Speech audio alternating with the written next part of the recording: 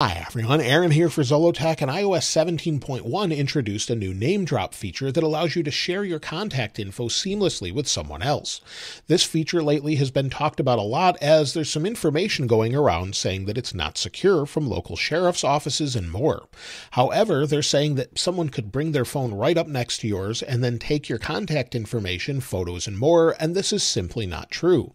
I wanted to show you exactly how it works and how you can disable it if you want to but there's not really a need as it's still a secure feature.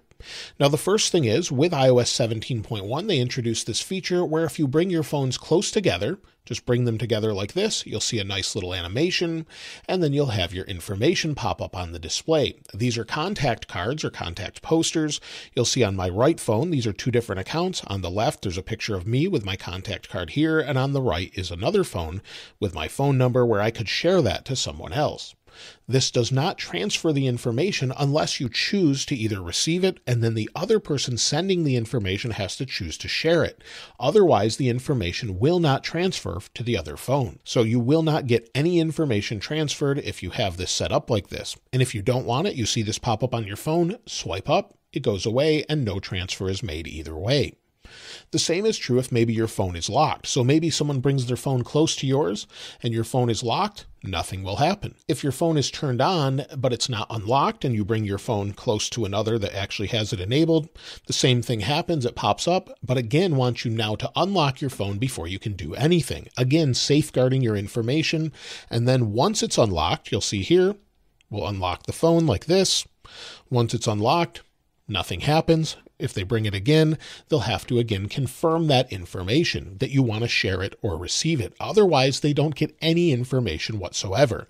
So it's completely secured that way. It also works with Apple Watch. So if I bring this close to an Apple Watch, you can transfer that information the same way. But again, you actually have to continue to share your information or receive only. Again, you cannot do it otherwise. It will not send that information. So, where people are saying you need to disable this right away because it's not secure is just not accurate. One reason you may want to disable it though is it can be annoying if you have two phones nearby regularly. They can trigger one another to actually send that information.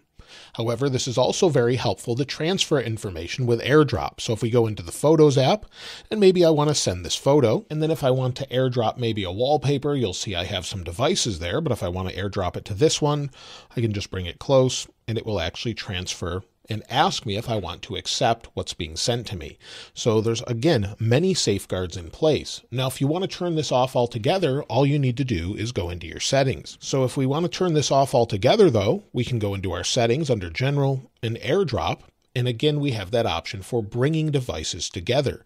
If you don't want this to happen at all, just turn it off. But again, remember you have to confirm that someone's sending something to you, whether that's airdropping with everyone for 10 minutes you could turn AirDrop off altogether so you won't receive files or just leave it on default. Again, you'll see bringing devices together though if you want to turn that off. Now if I bring them together, nothing happens. So you can turn that off, turn it back on, and you'll see it works again. So again, it's completely under your control. You don't have to turn it off. It's completely secure either way. But if you don't want it to happen at all, you can disable it. If you did want to disable this on the Apple Watch, I wanted to show you how to do that as well. Go to your settings, under settings, scroll down until you see contacts. Just keep going. Under contacts, you'll see NameDrop. It's the first thing there. Then you can disable it if you don't want it to be there. If you do want to use it and you find it convenient, leave it on, and then someone again will have to confirm with you. But otherwise, when you bring your phone close to it, you can actually send your information that way, and you'll see it shows just bring it nearby, and then you can share it. But again, you have to confirm this. But unfortunately, the information about it being insecure and something you shouldn't have enabled is just not accurate at all. So that's how it works. Hopefully that helps. And if you have any additional questions, let me know in the comments below. I'll link these wallpapers like I normally do. And if you haven't subscribed already, please subscribe. And if you enjoyed the video, please give it a like.